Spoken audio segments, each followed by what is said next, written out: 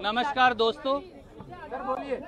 आज देश के उच्चतम न्यायालय ने भारतीय राष्ट्रीय कांग्रेस, शिवसेना और राष्ट्रवादी कांग्रेस पार्टी की संयुक्त याचिका पर दोनों पक्षों की बहस सुनी। भारतीय राष्ट्रीय कांग्रेस, शिवसेना और एनसीपी की ओर से स्पष्ट तौर से हमने फिर दोहराया कि महाराष्ट्र में प्रजातंत्र की हत्या हुई है। और जनादेश को धूमिल कर संविधान को पाँव तले रोन दिया गया है। और एक नाजायज भारतीय जनता पार्टी और अजीत पवार जी की अल्पमत वाली सांझी सरकार वहाँ बनाई गई है। इसलिए अनुरोध किया गया उच्चतम न्यायालय को हमारे पक्ष की ओर से कि एक फ्लोर टेस्ट, यानी जनमत को साबित करने के लिए विधायकों की संख्या का टेस्ट फौरी तौर से ऑर्डर किया जाए ताकि ये साबित हो जाए कि बहुमत महाराष्ट्र के विकास के गठबंधन, कांग्रेस, एनसीपी और शिवसेना के गठबंधन के पास है। सुप्रीम कोर्ट को हमने एक सौ चौवन विधायकों के शपथ पत्र भी दिखाए, जो ये साफ़ साबित करता है कि एनसीपी, कांग्रेस और शिवसेना के पास संपूर्ण बहुमत है क्योंकि वो आंकड़ा 145 का है और एक सौ चौवन विधायक साथ हैं। जैसे ही बाकी विधायक भाजपा की जेल से छूट जाएँगे तो ये संख्या और बढ़ने वाली है। आदरणीय उच्चतम न्यायालय ने दोनों पक्षों के बहस को सुनकर मामला आरक्षित किया है और ये निर्णय कल साढ़े दस बजे वो सुनाएँगे, ऐसा उन्होंने आदेश दिया है। कांग्रेस पार्टी शिवसेना और एनसीपी, हमारे गठबंधन को ये विश्वास है कि महाराष्ट्र में जनमत की जीत होगी, महाराष्ट्र में प्रजातंत्र की जीत होगी। भाजपा और अजीत पवार के समेत वो सारी ताकतें, जिन्होंने प्रजातंत्र को पाँव तले रोंदा है, जनमत का अपहरण किया है, चीरहरण किया है, संविधानिक संस्थाओं के, की गरिमा को धूमिल किया है। उनको फ्लोर टेस्ट के अंदर करारा जवाब मिलेगा जब देवेंद्र फडणवीस जी और अजीत पवार जी को महाराष्ट्र के चुने हुए विधायक अल्पमत में होने के कारण बाहर का रास्ता दिखाएँगे।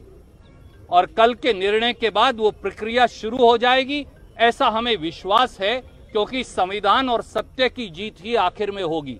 मैं अब अनुरोध करूँगा, इससे पहले कि मैं इंग्लिश में कहूँ। आदरणीय और सवाल भी हम लेंगे आपके। आदरणीय पृथ्वीराज चौहान साहब जो पूर्व मुख्यमंत्री हैं महाराष्ट्र के कि वो अपना पक्ष आपके समक्ष रखेंगे और Shri Mukul Wasnik ji. We will we will just wait for a few seconds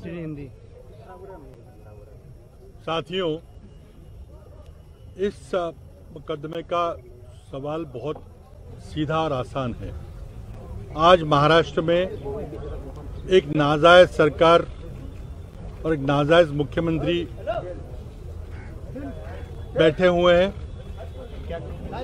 ये साफ़ है, जैसे कि सूर्यवाला जी ने कहा कि मेरे पास, मेरे हाथ में तीनों दलों के शिवसेना, राष्ट्रवादी कांग्रेस और कांग्रेस के एक सौ चौवन विधायकों के अलग अलग एफिडेविट्स है साइंड एफिडेविट है कि हम एक साझा सरकार बनाना चाहते हैं। शिवसेना के उद्धव ठाकरे जी के नेतृत्व में। एक और साफ़ बात है कि कुछ विधायकों ने, एनसीपी के कुछ विधायकों ने दोनों जगह साइन की है। पहले जो सिग्नेचर है वो गलती से उनकी अनुमति के बिना दिए गए हैं और अब उन्होंने हमें अपने खुद के इंडिविजुअल एफिडेविट्स दिए हैं। एक इस तरह की परिस्थिति पैदा हुई है कि असलियत जानने के लिए फ्लोर टेस्ट के अलावा कोई दूसरा रास्ता नहीं है। दोनों दलों ने फ्लोर टेस्ट स्वीकार किया है। सवाल सिर्फ़ यह है कि हम चाहते हैं कि फ्लोर टेस्ट 24 घंटे के अंदर हो, जैसे कि कर्नाटक में और उत्तराखंड में दिया गया था, और जो प्रोसीजर कर्नाटक और उत्तराखंड में अपनाया गया था, वही प्रोसीजर इस केस में भी अपनाया जाए। अब विपक्ष की ओर से दलील रखी गई कि उनको और समय चाहिए।